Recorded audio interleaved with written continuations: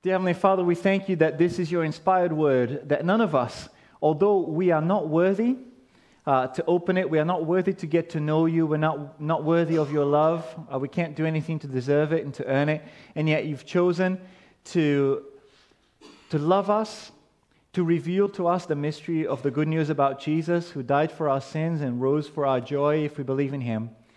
And we thank you. We pray now uh, that you would give us precisely what you know in your infinite wisdom that we need, uh, whether it's encouragement or challenge, uh, rebuke, or comfort. Will you give to us as we speak from your word, by your Spirit, what we need, wherever we're at spiritually? Amen. Amen. Wow, that was a good amen from the back there. That's fantastic. That was really good. Was that Tina? I'm not sure. Um, how, how, how, did you, well, with my daughter, that's beautiful, isn't it? Um, how, I'm, not, I'm not paying her. Uh, how did you end up with the name that you have? How did you end up with the name that you have? Does it mean anything, your name? I wonder. Okay, um, I was trying to find out from people from the church and elsewhere how they name their children. And it's utterly fascinating, fascinating. There are things I can't say in public. Um, what other people are naming their babies guides what you name your baby. If everyone is calling their baby, you know, I don't know, Julie, then you go, ah, I don't know, that's not unique enough. You know, so that could, that could guide what you call your baby. Maybe the length of the name, what the name sounds like, whether the name of the child would affect their future job prospects. okay. Um, what the ability of the child will be to pronounce their name. And I, am going to refrain from giving you examples that, when mispronounced, sound like swear words. Um, when the child can't pronounce certain letters. Uh, I shouldn't have said that because now I know the youth will come and ask me what the. Anyway, uh, what we don't normally do is we don't pick a name based on the circumstances of the birth of the child. And because we don't know the future of the child, we don't pick a name that says what the future will be. However, some of you have hopes for example, you saw John here, he was leading the service. His daughter is a defender of men. Lexi. Brave. Amazing. You know? And yet, she's also joy. Isn't she? Look at that, unflinchingly. You see, in our story, in our historical moment in 1 Samuel chapter 25, we find the father's joy. Abigail, father's joy, woman that is joyful. Interesting. The cause of joy for other people. We find David, the beloved or the favorite. We find Nabal, which can mean man of Carmel, but it sounds like the adjective senseless, foolish. And it's in the life of Abigail that we're going to see a humility that brings peace as we follow on episode number two of our series, Messy Lives. Last time we talked about Elkanah, uh, and it was great. And we talked about the man the mess and the Messiah. And I was very tempted to say that today, as we have uh, the messy life of a woman, that perhaps we should say the woman, the bigger mess, the Messiah. But then I had to actually read the Bible, and unfortunately, she's actually pretty amazing, so I couldn't do that. She's pretty amazing. I shouldn't say unfortunately. But you remember from last time that when we open the books of Samuel, we see that there are lots of interesting themes there. We see that the theme of family and power uh, is there because everything that happens with the family of Saul or the family of David affects the life of the whole nation.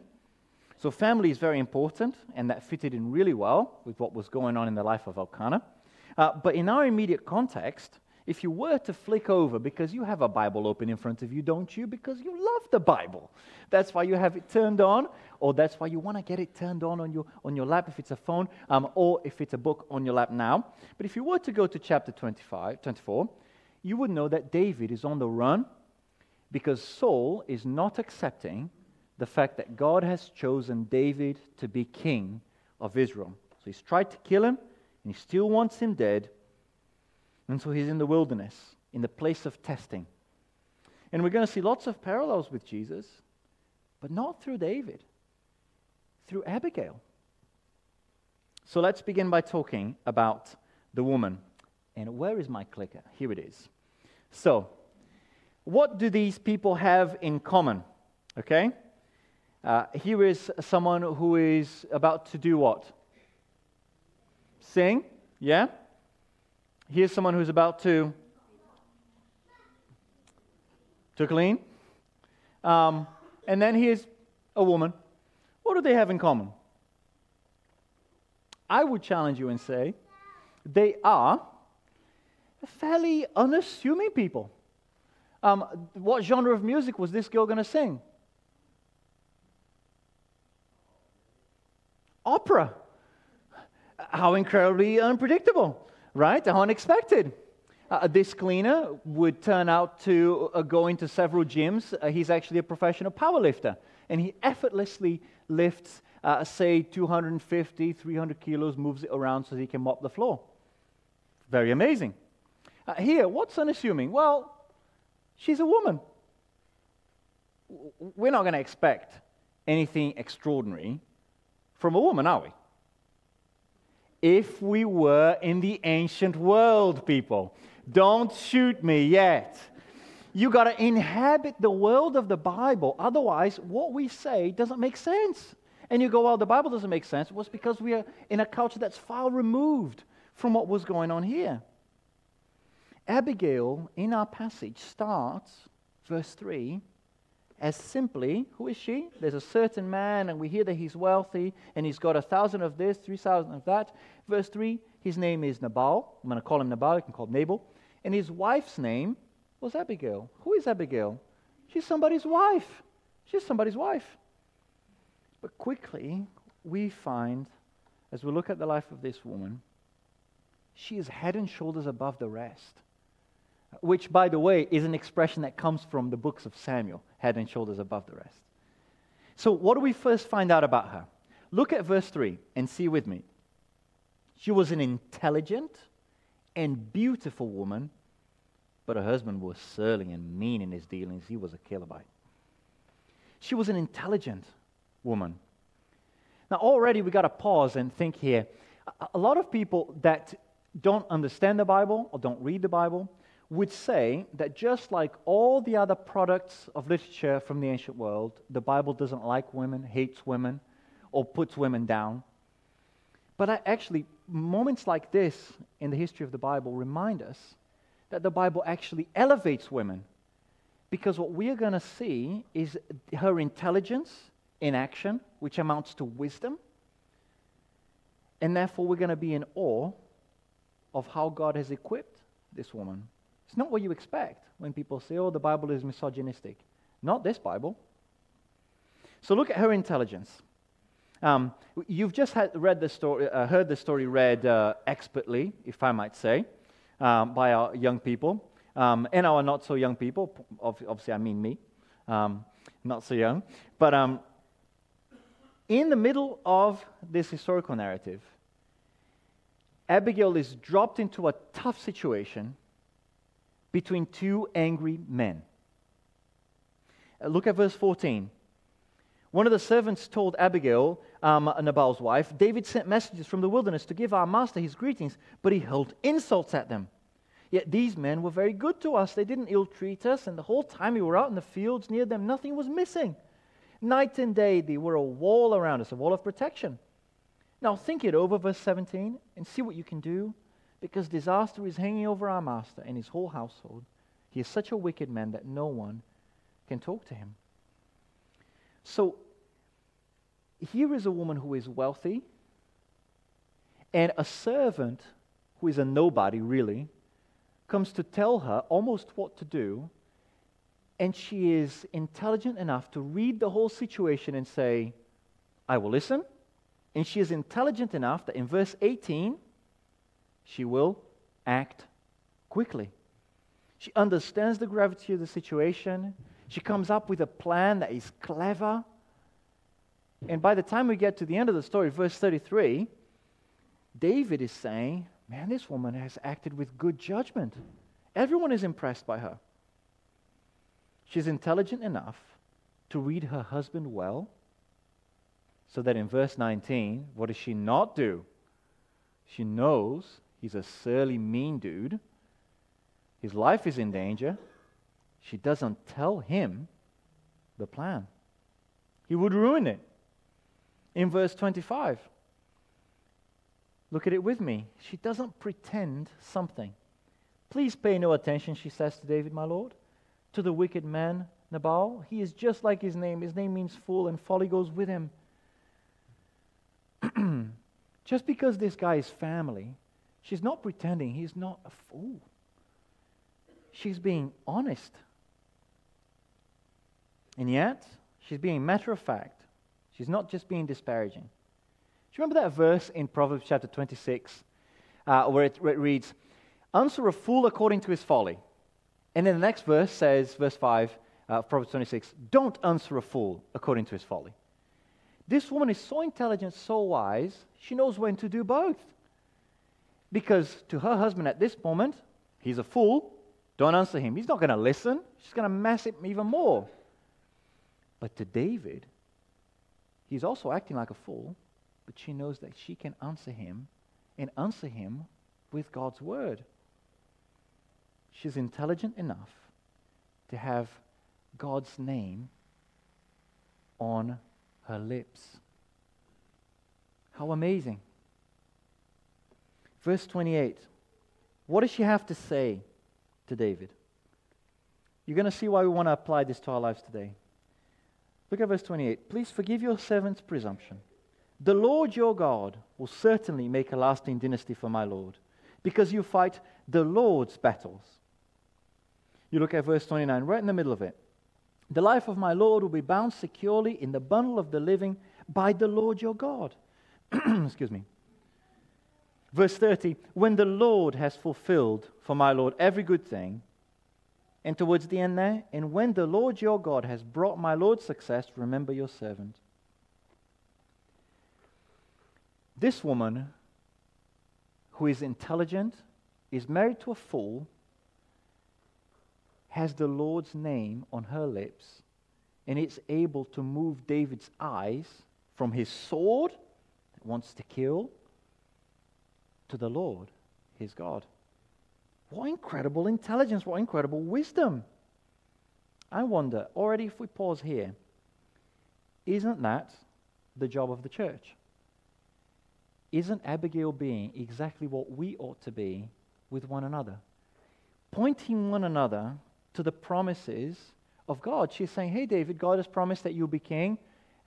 Don't shed innocent blood so that you won't be an evil king. Remember God's promise to you. She is pointing to the promises of God.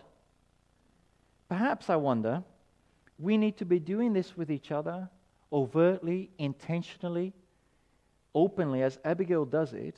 And maybe it'll be things like Hey, maybe you need to hear today the promise of God is that if you belong to Him, He's going to give you all that you need for every trial. Maybe that He's going to provide a way out in the middle of temptation. 1 Corinthians chapter 10 verse 13. Maybe that he will give us what we need for life and godliness, as the apostle Paul says. Maybe that when we are anxious, he has our future in his hands. We need to be pointing to each other the promises of God and lifting our eyes from whatever it is. If it's David, from the anger, from the frustration, from the anxiety, from the sorrow and grief, pointing each other's eyes to the Lord. Because what's remarkable is, as we discuss Abigail the woman, this intelligent woman, she lived as if God's promises are actually real, tangible, certain. She just believed David would be king because God said it. So I wonder do we live lives that are based on God's promises? Do we do that when we open the Bible privately, when we come to a home group and we get to encourage each other in that way? At youth group and you're listening attentively? In a one to one meeting, and before that meeting, you've done your homework and you've uh, come to the Bible uh, ready, and so on. But she's also, a very short point, a beautiful woman. I remember that I was very fixated on beauty uh, when, I was, uh, when I was a teenager. And I just, it, it had a, a, physical reaction to me. If I was before a, a, beautiful girl at school, I just, I lost the words. I just couldn't speak. I, di- I didn't think they could do anything wrong. It was very impactful. Um, later, as I was growing um, in the same school, and I, I looked at those uh, beautiful, absolutely stunning, stunning girls, um, and something I, I began to notice.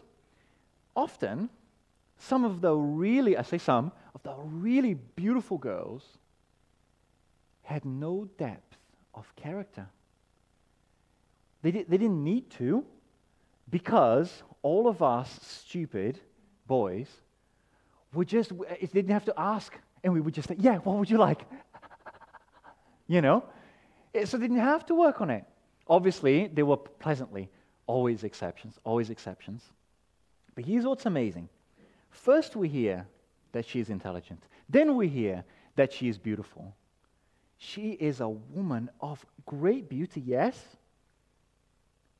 But normally, a woman that might be stunningly beautiful and knows that she is stunningly beautiful might not be humble. And that's the next thing that we are surprised by. Abigail not only is intelligent and beautiful, she is humble. Humility is the keynote in the music that we hear of Abigail's life. Look at the story with me. Kids, this is the bit where you have to order the pictures that are in your handouts, okay? So, just recall what's happened with me. David and his men are hiding from King Saul. He wants to kill him. They take refuge in the wilderness of Paran. In that area lives a man who probably was as large as this man, who knows, called Nabal. Nabal's many servants, uh, he had many servants, he owned thousands of sheep, hundreds of goats, and David's men helped to protect his herdsmen, protecting his flocks from other raiders, maybe from wolves, from wild animals. And after a while, spent uh, uh, guarding the flocks, David sent men to ask Nabal for some food. Told his messengers to be polite uh, and how well they'd protected Nabal's flocks and so on. But Nabal was so greedy, so selfish, he wouldn't share his food with David and his men. He lost his temper. He replied in anger. He insulted David he was going to give him evil for good. The messengers reported back to David, and now it was David's turn to be angry. Let's kill them all. But Nabal's wife, Abigail, heard about her husband's rudeness. She was a very wise woman, wanted to stop the fight, protect her husband, even though he didn't deserve it.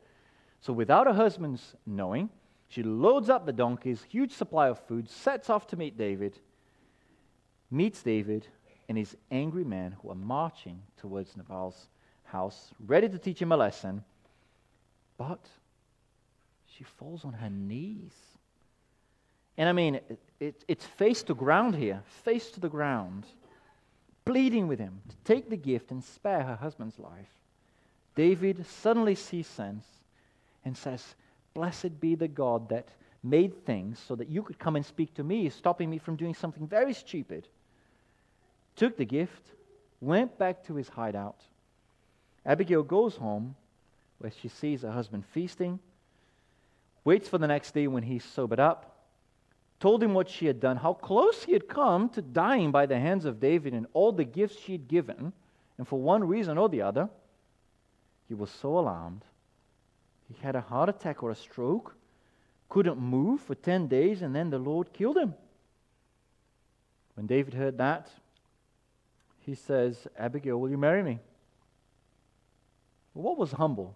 I wonder if kids, if you've got all the pictures in the order there, what was humble about Abigail in that way?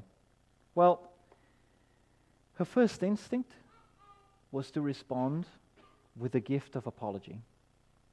I'll tell you now, if I'm in a sticky situation, if there's angry people around me, it is not my first instinct to think how I can pacify people around me. It is not.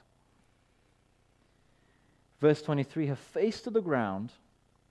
Is there any more humbling or humiliating position than this? There isn't, is there? Because in the ancient world, if someone's not having it, they can kick you from that position. They can humiliate you even more. This woman is a, is a diplomat between two angry men, and instead of saying, Calm down, everyone, has anyone ever said that to you? Does that work? Does it work? Doesn't work on my children, doesn't work on my wife.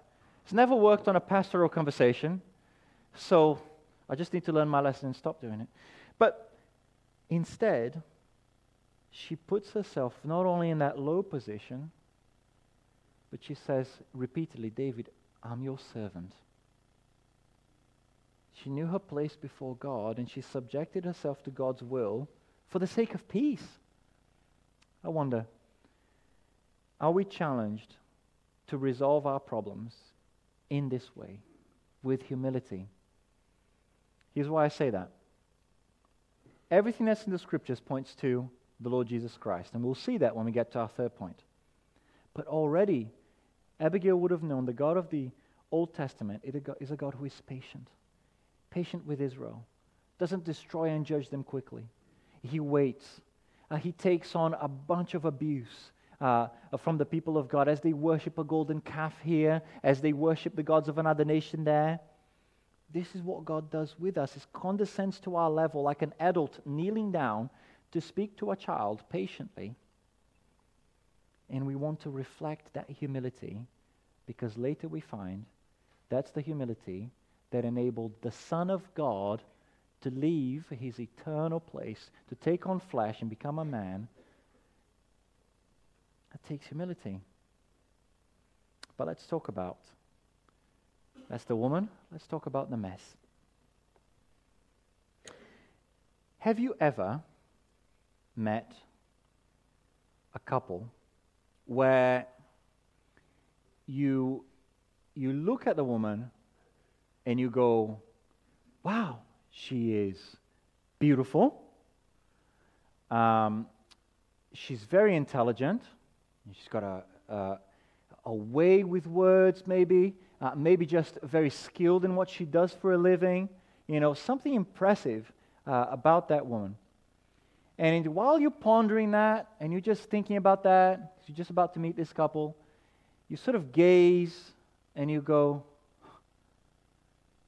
Is this your husband? But you, but you, him. You, him. You, him. Has this happened to you? You know, perhaps if you're a child, you're going, Yes, look at my dad. look at my mom's fantastic. My dad looks like a train wreck. This is what's interesting. Abigail is in here in 1 Samuel chapter 25. Later, okay, her name appears in Chronicles. You know, somehow we hear that she's even kidnapped um, by some of the ungodly peoples, uh, the Canaanite nations. I think it was the Amalekites. We don't ever hear anything really bad about her. When we were talking about Elkanah, I mean, the dude was a, he was in a polygamous relationship. He had bowed down to his culture. We don't hear anything bad about um, Abigail. So, what is her mess? What is it? Her husband. Her husband. So, maybe it was the case, you know, that she married him when he was a God fearing man, and then he turned out to abandon the faith he believed. Maybe she had no choice and it was an arranged marriage because that was the deal of the day. Regardless of that, for how many of us the biggest mess in our lives, perhaps in your life, isn't anything you've done. It's something someone else has done. How many of us wouldn't either give up or give in if you were in her shoes? I mean, I can just imagine. I would have said, David, here's all the money, here's all the gifts. Listen, he did all this, it wasn't me. If you're going to kill him, if you just kill him, take whatever you want, marry me actually as well, you can protect me. But no, she responded with honesty and yet without hostility. That was a very poor choice of uh, font there, wasn't it? Honesty without hostility. Look at verse 25 when she says, Pay no attention to that wicked man, Nabal. Is it true he's wicked? She's being truthful. He's just like his name. His name means fool, and folly goes with him. And yet, she is fighting for his life. She's fighting so that this war will turn into peace. Shouldn't we be equally able to be truthful while lovingly working for the good of other people, even if, like Nabal, he's got no idea what's he doing, getting drunk while she's saving his life. Now, I wonder if, as we're challenged by this, she never met Jesus, but isn't she doing this? But I tell you, Jesus says in Matthew 5, love your enemies and pray for those who persecute you. She's doing more than praying. She's actually really, truly loving him and working for his good, that you may be children of your Father in heaven. That's very much what Abigail is showing herself to be the Father's joy, but God the Father's joy. As we finish this little section in the middle, of the mess, is there anybody that God is placing in your mind, in your heart, who maybe is the mess in your life? That you are challenged to ask the Lord, help me to be patient, to work for their good, even though they're not thinking of me, they're never going to say thanks. But like Abigail and like the God she worships, I will work for their good. I wonder if there's anybody like that. But let's move on to a joyful moment. The woman, oh, I don't know what's happened there. The woman, the mess, the Messiah. Abigail is really like a big signpost, okay? And as I just mentioned to you, a verse that says, Her works show her father, we do know the children, we do know the, the parents by knowing the children a little bit, don't we? That's one of the greatest joys of my youth work is to be able to, even before I met the parents, if I've had the kids coming to my youth club or to Kids Friday Club, I immediately can pick out the parents and I immediately can pick out certain family mannerisms, ways of doing things that just betray who they belong to. See, some of you are smiling to yourselves now because you're thinking, what is it about my family that There's always something. There's always something. And in that way, the children are a bit of a signpost to their parents, aren't they? I don't want you to believe this when you see my children misbehaving. I want you to believe that nobody's perfect and not that the children are a signpost. But for the sake of this illustration, she is like a big signpost saying, Look over here. And she's pointing to Jesus. Now, if you were to, in any other translation than the NIV, look at verse 24 you would see this that Abigail says, even in the uh, NIV 1984, she's a type of Christ when she says this David, I accept all the guilt. She did nothing wrong, this woman. The very first thing that she says to David is, I take all the guilt. Let me explain to you. The NLT the New English Translation, the International Children's Bible, even the Message, the English Standard Version, the King James Version, they all say some version of, I take this iniquity upon myself. And she is putting her life on the line, isn't she? Even though she's done nothing wrong. David, she doesn't know what, what David, the madman at this point, is going to do. He could have killed her. This is just what Jesus Christ does for us. Again and again, she uses the language of, I'm your servant. That's what Jesus has done. Philippians chapter 2 humbled himself, taking the nature of a servant, being obedient to death. There's lots of other parallels. Look at it with me, because as I list each of these things, if you're a Christian, this makes you grateful that Jesus is like this. He's, a, he's like a better Abigail have you ever thought about this? In Psalm 27, um, David says, Here's what I want to do the most I want to be in God's temple, and I want to gaze at his beauty. At his beauty. But at this point, there's no incarnate Jesus. So, how is God beautiful if he doesn't have a body? It's not because his ears are symmetrical. It's not because he works out and he's got a six pack. No. His beauty is because of his perfect and loving and wonderful, merciful, just character. Abigail was beautiful, and we see her beauty in her character. We look at the Lord Jesus. He is the supremely beautiful one whose perfect character never disappoints. Abigail was really resourceful, wasn't she? She read the situation. She was like, okay, here's what we need to do. Servants, you get this many sheep, you get this many this. Right, you go ahead of me. I'm going to go right behind you. She's rehearsing the speech. She's really resourceful. Jesus is the ultimate, resourcefully wise man whose teaching is with authority, whose words are always um, salted with the wisdom of God. And when Abigail says, I'm ready to take on your wrath, David, well, guess what Jesus does? He takes on the wrath of God the Father on sin for anybody who believes. But here's a sobering thing, verse 38. About 10 days later, the Lord struck Nabal and he died. The dude who just wouldn't listen. I mean, he was married to this intelligent woman. I guess he just wouldn't listen. Well, what was his end? The Lord killed him. And if you've been following our journey through the book of Revelation, uh, and if you come tonight, our next installment is to cover why on earth there is a prostitute uh, sitting on a beast with seven heads, ten horns, uh, sitting on many waters. Come tonight and find out what's going on there.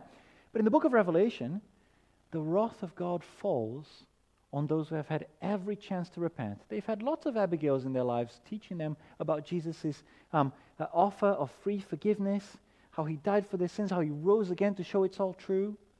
And they just said, I don't want it. And like Nabal the fool, because they are foolish not to believe the gospel, they will die. But a spiritual death that is separation from God. So listen to this.